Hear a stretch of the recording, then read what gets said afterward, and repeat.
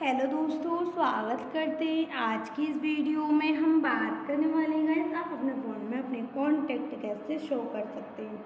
तो guys, video में simple simple step है। आपको नहीं फॉलो करके आप अपने फ़ोन में अपने कॉन्टैक्ट को शो कर सकते हैं। तो गाइस, वीडियो की जानकारी के लिए वीडियो लास्ट ज़रूर देखना। आइए वीडियो शुरू करते हैं। तो वीडियो शुरू करने के लिए गाइस, हमारे फ़ोन में एक एप्लीकेशन है कॉन्टैक्ट जो हमने पहले से डाउनलोड कर रखा है। तो हमें उस पर क्लिक कर देना। क्लिक करने तरीके का इंटरफेस देखने को मिल जाता है यहाँ पर। तो हमें थ्री लाइन पे क्लिक कर देना है। क्लिक करने के बाद हमें आल फ़ोन पे क्लिक कर देना है। क्लिक करने के बाद आपको आल अकाउंट आल अकाउंट इस पर सिम वन सिम कुछ भी आ रहा है तो आपको आल अकाउंट पे क्लिक कर देना है। तो गए इस तरीके से आपको आल अकाउंट कॉन्टैक्ट शो हो जाएँगे।